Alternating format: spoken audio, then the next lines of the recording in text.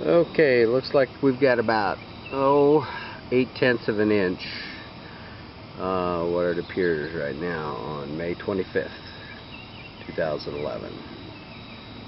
Okie doke. Sun's out right now. Actually looks pretty nice, but there are storms all around us. Alright, headed north to take some samples. Okay, I'm looking east up Berry Road and now I'm going to show where the runoff is on the north side of Berry Road. And follow that.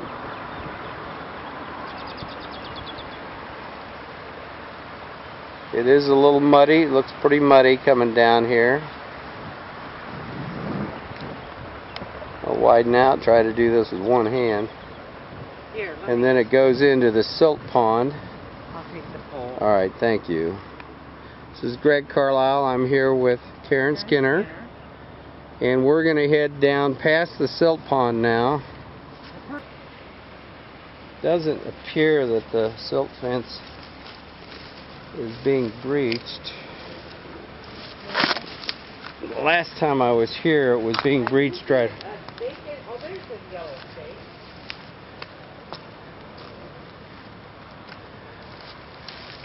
Yeah, this area looks pretty good. Although it looks like it has been breached there before. Should we get our, our, uh, first sample? I've got all this dumb stuff I'm trying to carry here. Okay. Get our first sample right here. Picture of this. Okay, we've come down here, it's coming around, and this is the spot where it's going into the lake.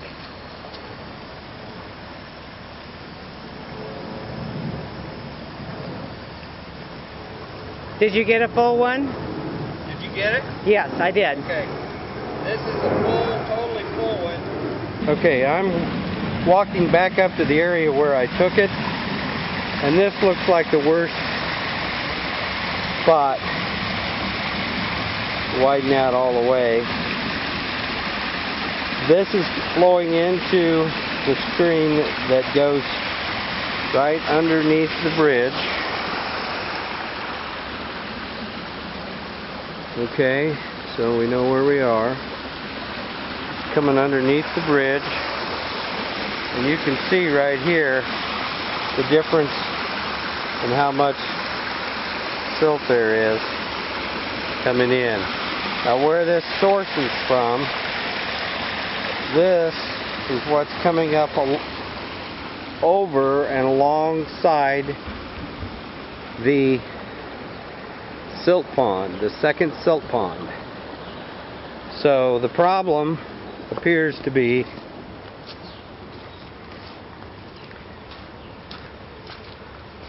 where I'm coming. Okay, this is the second silt pond and where all of this dirty water is coming from. It's coming through the rocks in the silt pond which in this area is certainly being breached and is not appearing to be doing its job.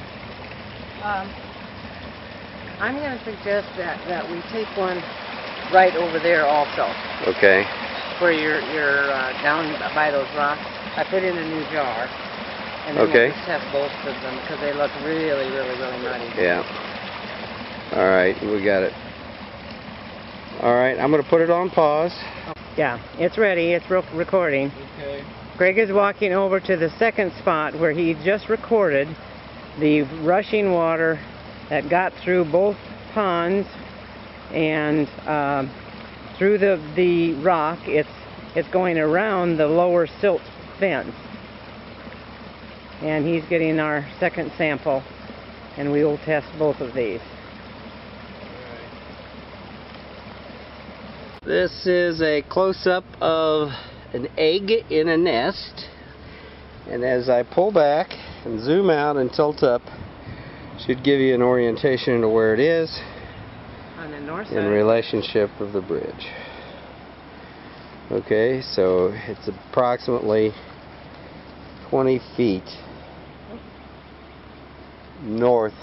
Karen Skinner and I, Greg Carlisle, are signing off because if you look behind Karen, from out of the southwest comes another nasty looking little uh, storm cell headed our way. So we're headed out of here. Go, go do the paperwork. All right, go do your paperwork. See you later. Bye bye.